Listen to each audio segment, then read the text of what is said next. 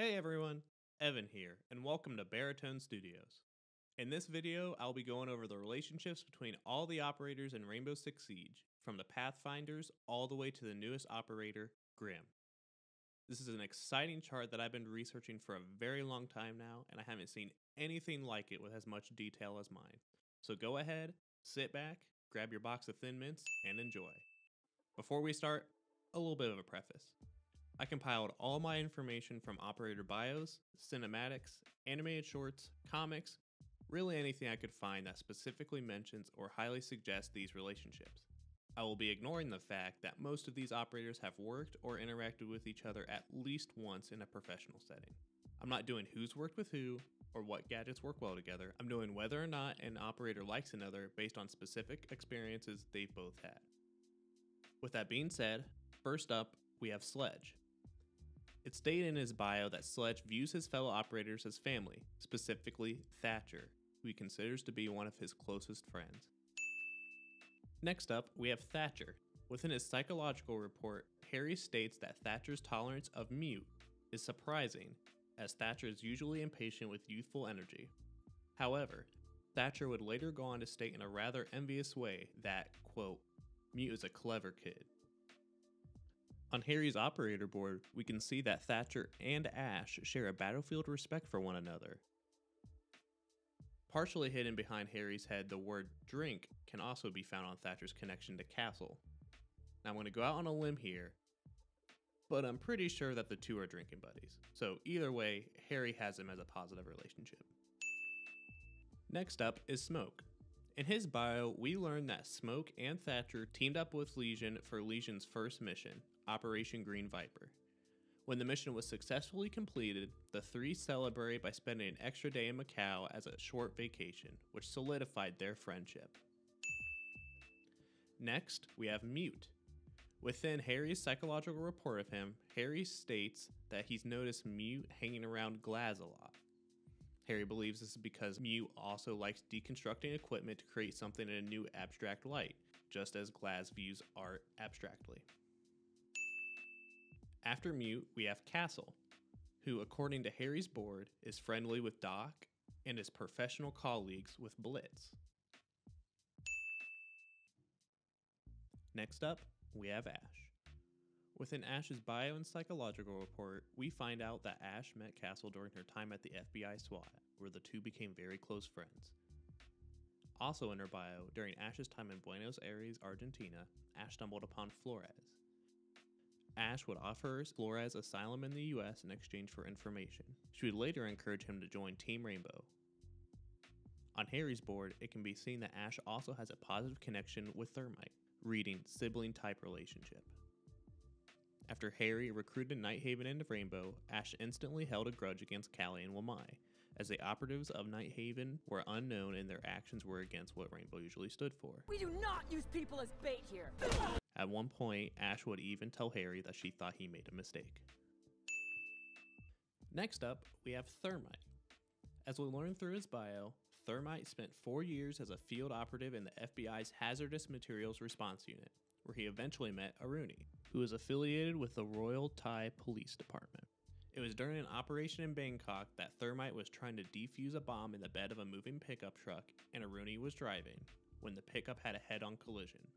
The explosion resulted in Aruni losing her left arm and leg, while Thermite only suffered third degree burns to his hands and arms. Though both eventually recovered, Thermite always felt responsible for Aruni's injuries since he didn't defuse the bomb in time. However, after Aruni had been recruited into Rainbow and arrived to the stadium for training in 2020, she told Thermite that she never once blamed him for her injuries, patching up any of Thermite's worries. Once Thermite joined Rainbow himself in 2015, he started working in research and development, helping to create Hibana's X-Kairos exothermic gadget that eventually led to the two of them becoming close friends. During Harry's psychological report, we also learned that Thermite is, quote, quite the social butterfly in his downtime, end quote, having close relationships with Thatcher and Twitch as well. After Thermite, we have Pulse, Within Harry's psychological report of Pulse, we learn that Thermite and Pulse are close. In fact, Thermite, Pulse, and Hibana are all close as a group of three. with a picture of them being found on the map border. We also find out Pulse has a professional rivalry with IQ, where the two seem to enjoy challenging each other. Next up, we have Twitch. In Twitch's bio and on Harry's board, we learn that prior to her joining Rainbow, she went on a 2015 mission in Nigeria to assist in the fight against Ebola. Working with Doc under Lion's guide, Lion would make several hard choices regarding quarantine procedures that led to the death of several medical personnel, including a friend of Doc's. This would lead to Twitch and Doc blaming Lion for their deaths, resulting in Twitch and Doc forming a positive relationship based upon their mutual respect for life, and Twitch and Doc forming a dissent for Lion. Shortly after joining Rainbow, Twitch would meet Caveira and have, quote, some kind of relationship, but to what extent remains currently unknown. After Caveira went AWOL in Bolivia in 2019, Twitch and Valkyrie worked together to bring Caveira back, leading me to believe that Twitch had a close enough relationship with Caveira to go in and recover her from Bolivia. Next is Montagne. Shortly after the reorganization of Rainbow, Montagne trained extensively with Lion and Sens in preparation for Operation Vector Glare, leading to the three of them becoming a close knit squad. After Montagne, we have Doc. On Harry's board, we learn that Doc and Dokkaebi have a positive relationship based on mutual optimism. We also see that despite their different methods of solving problems, he and Ash both share a mutual respect for one another. And while not many know about Finka's neuropathy coming back, Doc is one of the few who do and secretly monitors her to make sure it doesn't affect her work, both physically and mentally. Next up is Rook. In his bio, we learn that Rook and Twitch were in Paris together when several large fires emerged in the downtown area. The two worked together to help contain the chaos, but having experienced something similar during their program training, they suspected the fires were merely a distraction. They ended up tracking down the robbers who were robbing several banks across the city. After confronting the robbers, Rook was shot in the head but was saved by his helmet. Twitch quickly helped Rook get up and regroup before the pair pursued the robbers through Paris in a high speed motorcycle chase, eventually catching them. That sounds like the start of a James Bond movie to me. I can't see anything other than positivity out of this one. Next up, we have Glaz.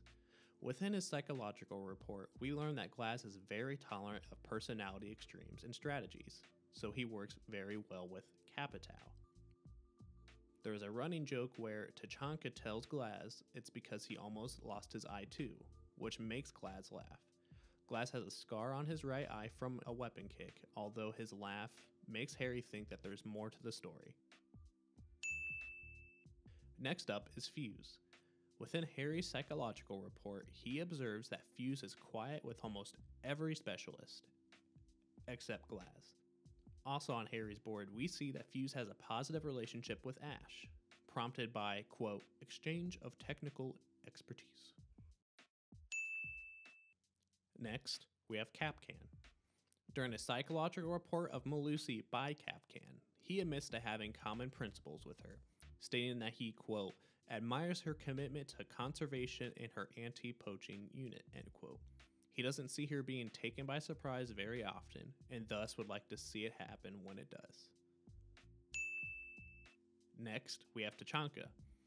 On Harry's board, we see that he has given a positive relationship between Ash, with a note stating, grudging respect. Through Finka's bio, we also learn that Tachanka likes to drink and flirt with Finka very often. Next, we have Blitz. Within Harry's psychological report of Blitz, Harry believes that Blitz's close friendship with Montagne is a way for Blitz to expand his application of abilities, as well as a way for both of them to be competitive. Harry also notices that Blitz is very close with Finka, who, when asked about it, Blitz says they simply enjoy making fun of each other and that she impresses him. Harry wonders if it is because he feels guilty he's in perfect health, or that he may have higher feelings for her. Next after Blitz, we have Bandit. Bandit isn't really friends or enemies of anyone. Kind of lame. Boo! Next, we have Buck. During a device evaluation of Buck's skeleton key by Frost, we learn that Frost and Buck don't play pool together because Frost knows that Buck likes to find the shortest distance between two points. They went head to head in another competition on opening up a wall with his skeleton key, and Frost, of course, lost. But she would then book extra time at the range so she could improve and challenge him again. Sounds pretty positive to me. Next up, we have Frost. Within Harry's psychological report of her, we learn that Frost had a bad hunting accident. And when Harry tried to bring it up, she is reluctant to speak and feels shame about the incident. Instead of pushing the subject away, Harry introduces her to Nomad, and the two become instant friends with their shared love and deep connection to the outdoors. Next, we have Blackbeard. Within Vigil's bio, we learn that Blackbeard met and trained Vigil alongside other Navy SEALs in 2017. For some unknown reason, this has led to Blackbeard being the only operator that Vigil is able to confide himself in. Next up, we have Valkyrie. Within Valkyrie's bio, we find out that when Valkyrie underwent Navy SEAL training during Hell Week, Blackbeard was one of her instructors. Despite this, she respects him, but does not have any warm feelings with him either. After joining Rainbow, Valkyrie worked with Twitch to help locate Caveira in Bolivia during Operation Archangel. Despite the mission being successful, the mission caused tension between the two. During Harry's psychological report of Valkyrie, we find out that Valkyrie is training to obtain her helicopter license thanks to some inspiration from Mira. Valkyrie is also taking language classes thanks to the encouragement from Hibana and Castle. Next up, we have Capitao. According to Harry's board, we see that there is a negative relationship between Capitao and Caveira.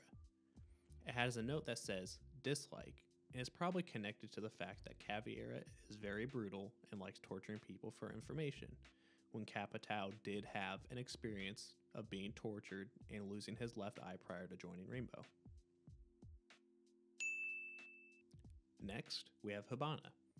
Sometime after joining Rainbow, we learn through Hibana's bio that she starts a secret relationship with Pulse. This is also later confirmed during the 2026 Invitational when Hibana lands the winning shot on Pulse, but not before saying, Sorry, babe. Attackers win. Hibana also looks up to Thatcher as a mentor figure, as can be found on Harry's board. However, there's also some sibling type impatience between her and Dokkaebi, causing some tension at times. Next up is Echo.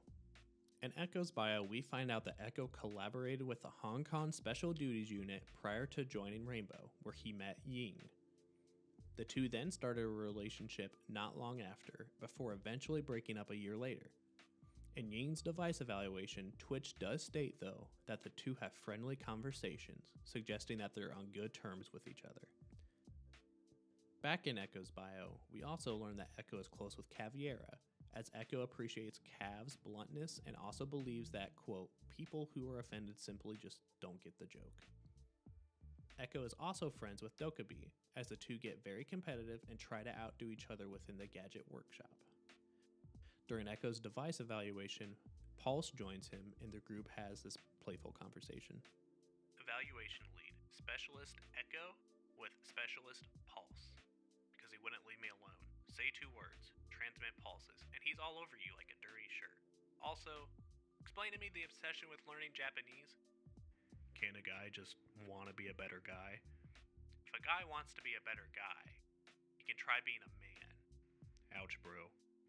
Can you two comedians please make sure these comments are cleared before Harry sees the file? Too late. Seriously, though, nothing to worry about. I'm all for working late nights in a state of the art lab, since the cafeteria started including Katsudon, I think Mira doesn't want me to go home at all. Evaluation of the yokai went well. Results are attached. I'd like to conduct further tests on electroacoustic transducer frequencies. Maybe I can coordinate lab time when Pulse isn't here. And I thought we were buds.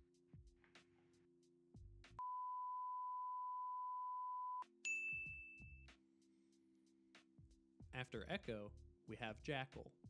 In his bio after joining Rainbow in 2017, Jackal grew close with many other operatives, the first being Mira, after he started working in the research and development division with her, prompting the two to have a deep respect for one another.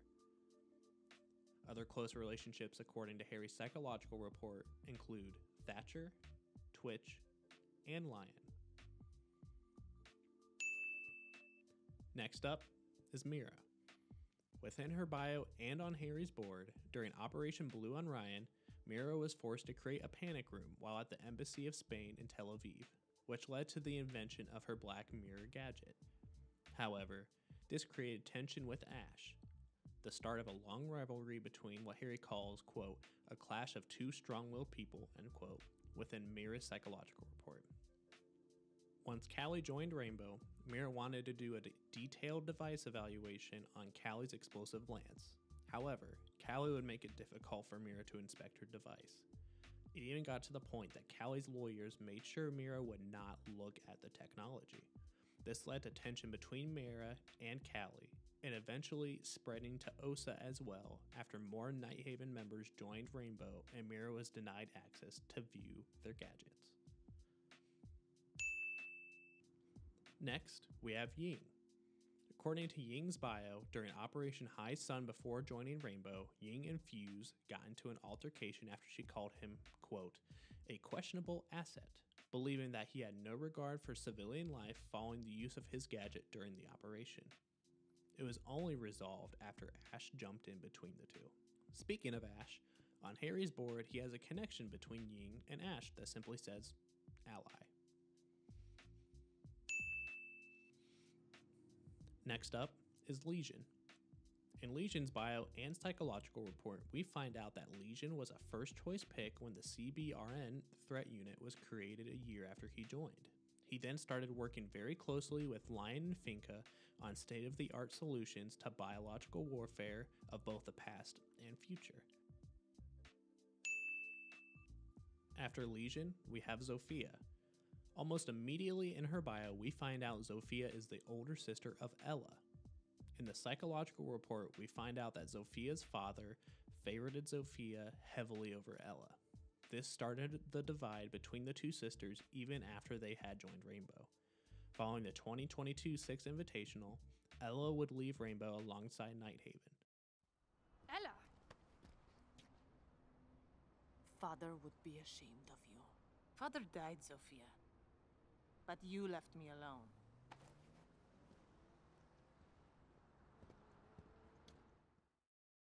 Family drama. Next, we have Ela. Besides the trouble between the two sisters, prior to Ela's work in Rainbow, she went undercover with Valkyrie for many months during Operation Orange Sky to infiltrate a warlord's inner circle. It went so successfully that the warlord was taken down without a single civilian being hurt. Ela and Valkyrie stayed close friends after the operation. Next up, we have Dokkaebi. We receive a lot of specific information about Dokkaebi from Harry's board. The first is that Dokkaebi has a misguided suspicion against Vigil, who, if you know anything about, Dokkaebi thinks is tailing her from within Rainbow on the orders of her old unit's Major General. However, we find out that during Vigil's psychological report that this is not true. Next, we see a negative relationship with Ash stating that Doke is too young and Ash is too serious. This is similar to Thatcher's relationship with Dokkaebi due to their age difference. Some of this tension can be seen within the Hammer and Scalpel cinematic.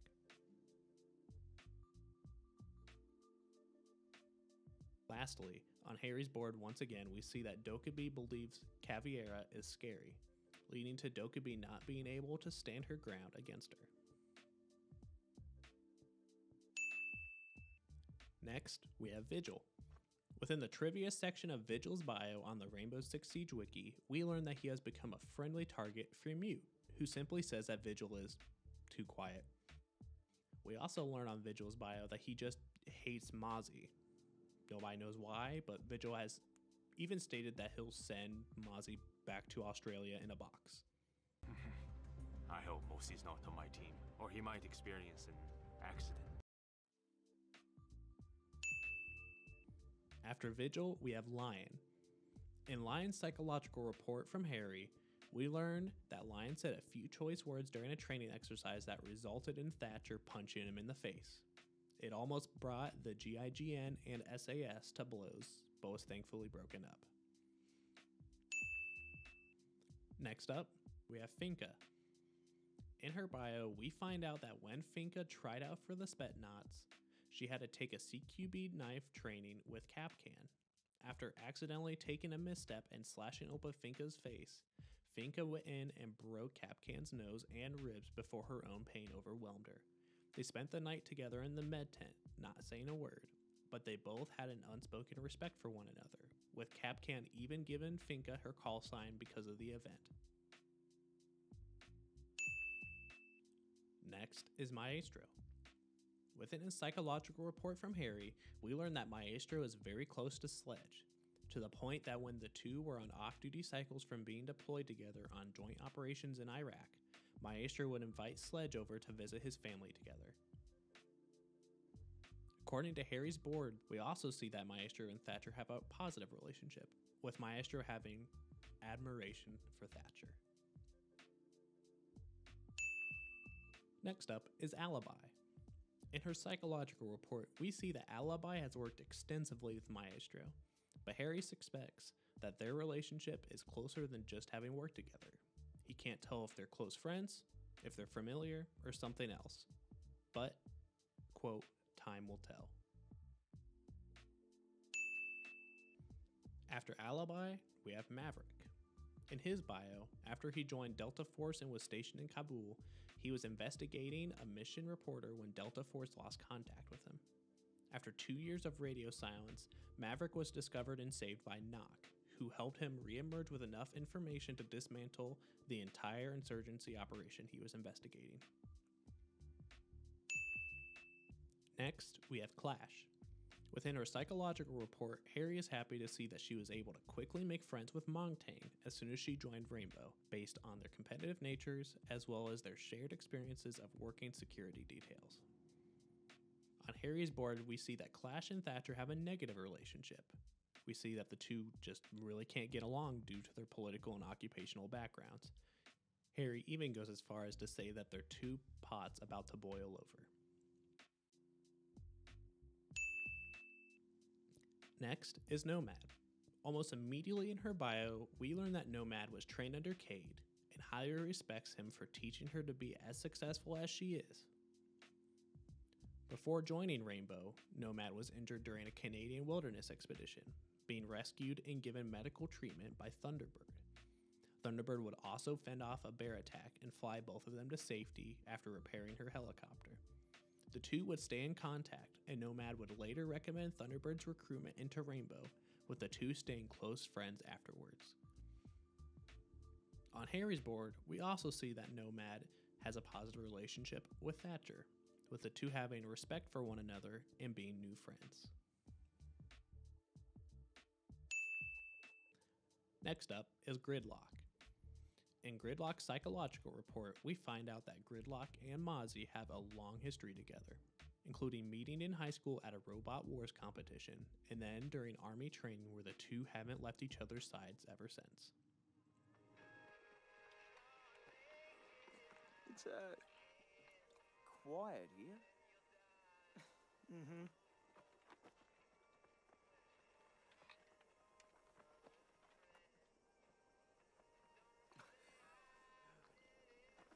It's like really, really, really Was quiet. quiet.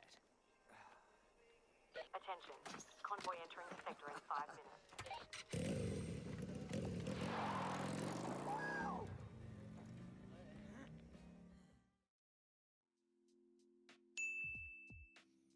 Next up, we have Nock. Shortly after the recruitment of Thunderbird into Rainbow, Nock was unconvinced that she was up for the team.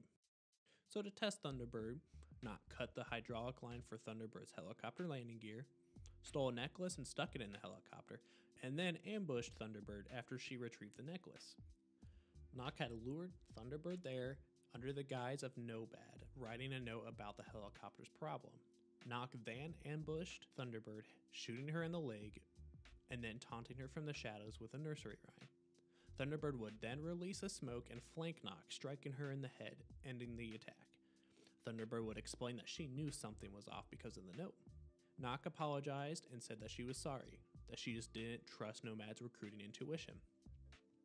Thunderbird then said that she had no hard feelings and that the next time Nock was going to test her, to leave her aircraft alone. So this is one of the only ones I really don't know how to classify. Um, Nock cut the landing gear's hydraulics, lured Thunderbird into an ambush, shot Thunderbird, said she didn't trust Nomad's recommendation of Thunderbird's skills, and then Thunderbird just forgave her. So I'm just going to make a safe assumption and give them a mutual relationship. I think the moral of the story is that Nock just needs to learn how to make friends a different way. Next up, we have Warden. According to Mira's device evaluation of Warden's smart glasses, the guy just won't leave her the hell alone about getting different styles for his glasses. Mira would say, quote, he has been a nuisance. He keeps asking for different styles for his smart glasses, but I work on the lenses themselves. I don't do designer frames. After Warden, we have Amaru. Before her time on Rainbow, we learn through Amaru's bio that Amaru met a young Goyo after a bombing destroyed his home and killed his father and sister. Amaru would go on to teach Goyo how to survive on the streets and stay out of trouble. The two would then work together after joining Rainbow, staying friends. Remember this morning when we recovered the stolen artifacts? Those guys might have noticed me. Things got a little heated. Then there was that beautiful moment. Me making my escape. Enemies in hot pursuit. You taking that shot, covering my back, and giving me a boost. Que baja causa. But I, uh, lost my wallet and all the excitement. Don't worry. I got you. Ah, just kidding. hey, vaya. It's on me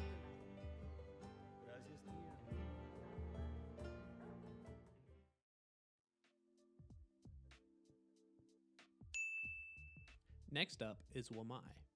In Wamai's bio, we learn that Wamai joined Nighthaven after Kali offered him more downtime and a private boat to be able to take him where his next dive site is. Since joining Rainbow and later leaving, Wamai has been supportive of Kali in all her decisions. Next up is Iana. Iana doesn't really have any friends within Rainbow. You could say she's almost out of this world to them. We paid nine dollars for this? I paid ten. Up next is Oryx. In Oryx's bio, we find out that he eventually showed up as a cadet at Kaid's fortress. Working his way from recruit to instructor, he now serves as the second in command behind Kaid, acting as the head when Kaid is away and acting as an advisor when the two are together. Next, we have Ace. In Ace's bio and Harry's psychological report, we find out that Ace was part of a joint UN operation in Somalia where he saved Kali's life. Afterwards, Ace was invited to join Nighthaven and has been loyal to her ever since, giving praise for her to everyone who asks. Next is Aruni. Within Harry's psychological report of Aruni, we learn that Aruni likes to travel all across the world. It mentions that she often travels with other people for companionship and security when visiting destabilized regions, including Twitch and Nomad.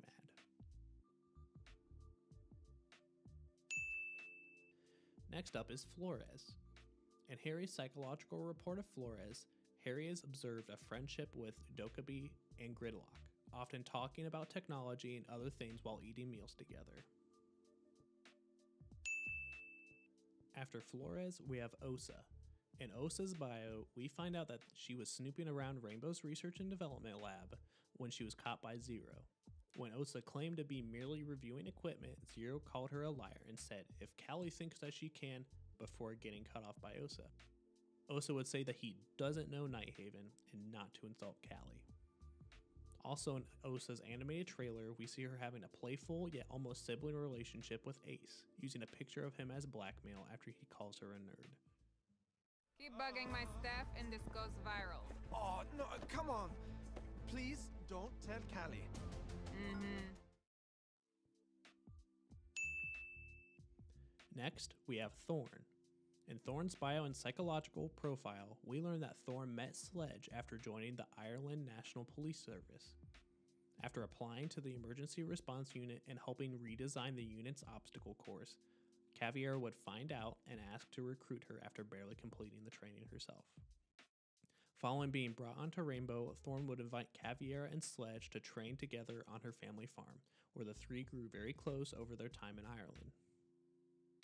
After returning back to Greece, Thorn and Caveira would go sightseeing at the Parthenon and get caught up in the exchange of a stolen artifact.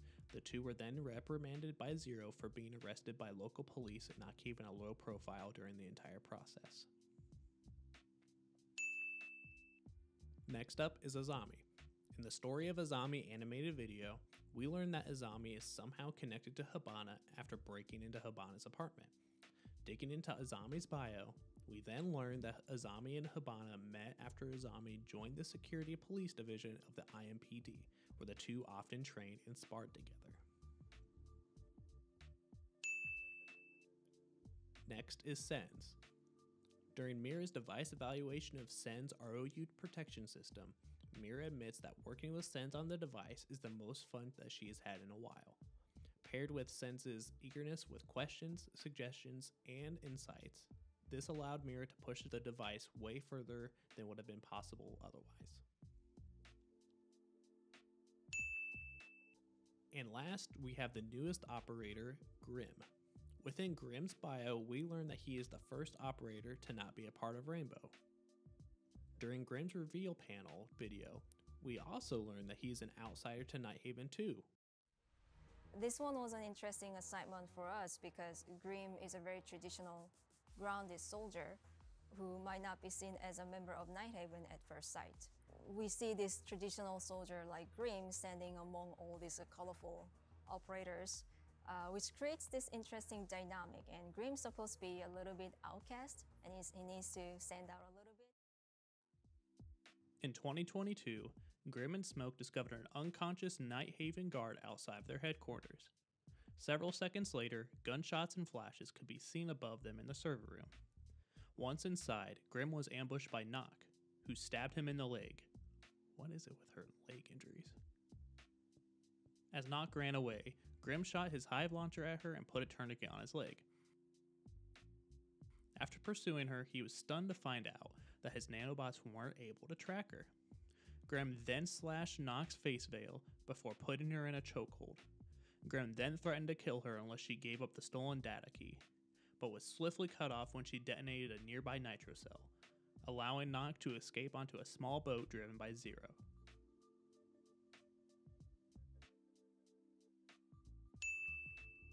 And there we have it. That's the full Rainbow Six Siege operator relationship chart. Except for one. I purposely left this operator out because I thought they were too different to just be thrown aside without any connections. The last operator is Jaeger. In Jaeger's psychological report, Harry explains, quote, Jaeger is not adept at reading social cues. Jaeger has a creative curiosity that's reflected both in his operations and his daily life. The first part of our conversation was spent discussing a documentary that he had watched the night before about scientists searching for new antibiotics. Jaeger was so caught up in it that he sent the link to Doc, Twitch, and Finka. I'm sure they were all equally interested, but maybe not thrilled to be contacted so early in the morning. Jaeger's lively energy made for a dizzying meeting.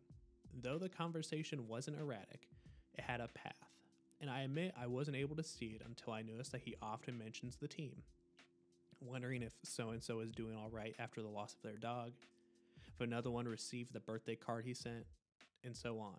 Jaeger enjoys sharing information so that he can make a connection, not just his connection with individuals, but a web of connections among everyone. His own upbringing wasn't particularly lively or warm, and the small family meant that he had a very little company at a young age.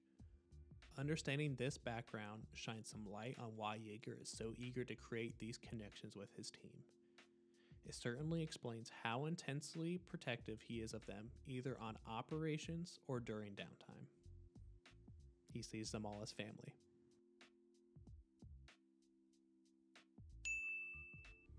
So, thank you all for watching. If you did make it this far, it took a super long time to compile all the materials for this video. I researched everything as thoroughly as I could to ensure this web was as canonically accurate as possible. If you enjoyed this video, make sure to comment, like, and subscribe. Let me know if you enjoyed the content or if I missed something. Lastly, if you want to catch up on your Siege lore or different video games for that matter, make sure to check out our podcast, Multiplayer Vault. There we deep dive into the stories and lore of your favorite multiplayer video games. So once again, thank you all for watching. I'm Evan, and I'll catch you later.